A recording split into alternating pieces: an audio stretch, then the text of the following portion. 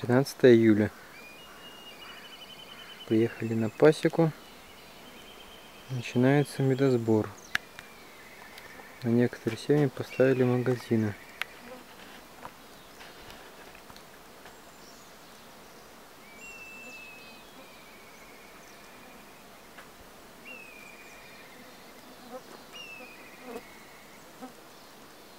В деревне медосбора нет.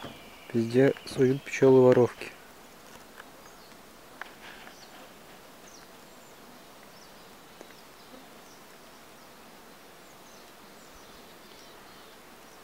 Озеро Исток.